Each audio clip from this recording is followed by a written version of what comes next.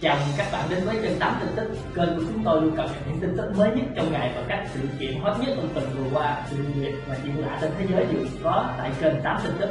Và hai bản tin này Và bản tin ngày hôm nay của chúng tôi có nội dung như sau Đôi nam nữ giả vờ ra Phú Quốc để kiếm việc làm nhằm bắt cóc trẻ em dù được gia đình người phụ nữ ở Phú Quốc giúp đỡ để tạo điều kiện cho làm ăn, nhưng Phong và Linh đã bắt cóc con gái của gia chủ rồi định đem về thành phố Hồ Chí Minh để bán.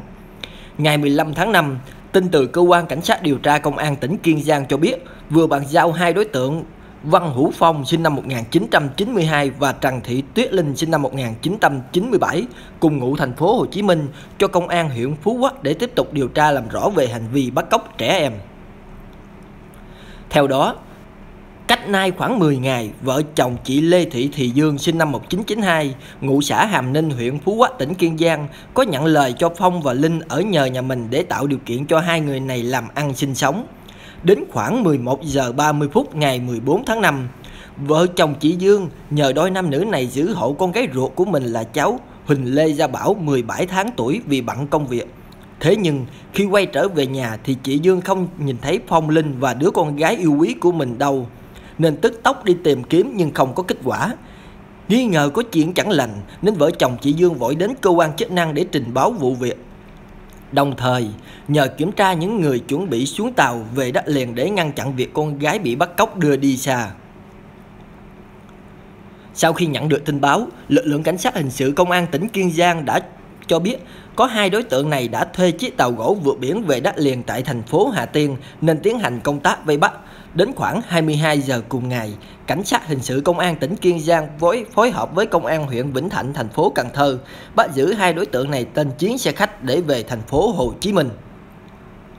Tại cơ quan công an, Long khai nhận trong quá trình đi đã lấy của gia đình chị Dương một chiếc xe máy và một chiếc điện thoại để có chi phí đi lại, Long bán cho chủ tàu gỗ một chiếc xe đạp điện với giá 3,2 triệu đồng rồi sắm một chiếc điện thoại di động. Trong khi đó, Long yêu cầu Linh cùng tháo bỏ sim số điện thoại đang dùng trong hai máy để chị Dương không thể liên lạc được.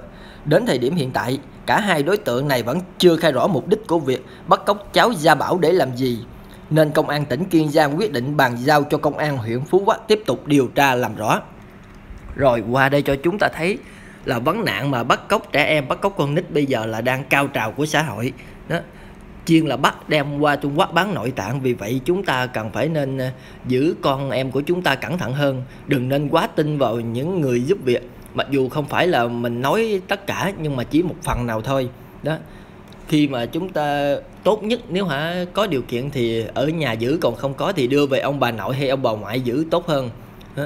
đưa cho người giúp việc. Thứ nhất là những người xa lạ họ nói là ngọa hổ ngọa bì nan ngọa cốt, chưa chắc là chúng ta đã nhìn được mặt mũi của họ, nhưng mà có biết được trong lòng của họ đang nghĩ cái gì, có ý xấu gì không?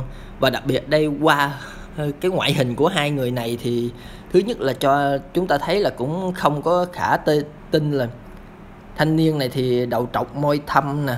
Còn phụ nữ này thì mắt, cặp mắt cứ u sầu là bảo đảm ẩn chứa cái điều gì đó. Nếu các bạn nhìn kỹ vào khuôn mặt thì sẽ thấy đó, và hiện tại là cơ quan chức năng đang tiếp tục điều tra để làm rõ mà hành vi bắt cóc cháu bé này có hành vi như thế nào, là muốn bắt cóc để bán cho ai hay là đem qua Trung Quốc bán nội tạng. Vì vậy chúng ta có con em thì chúng ta nên giữ cẩn thận, đừng nên tin tưởng người khác quá, xã hội bây giờ không tốt như hồi xưa nữa đâu. Rồi, cảm ơn các bạn đã theo dõi video. Nếu thấy hay, hãy đăng ký kênh và đừng quên like và chia sẻ để cho mọi người cùng xem.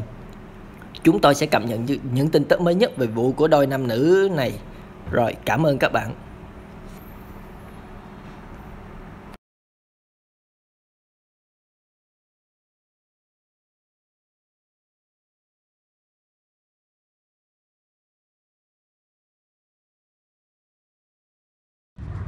Cảm ơn các bạn đã theo dõi video. Nếu thấy hay hãy đăng ký kênh và đừng quên like và chia sẻ để cho mọi người cùng xem. Và đừng quên ấn vào nút thông báo để cập nhật những video mới nhé. Cảm ơn các bạn.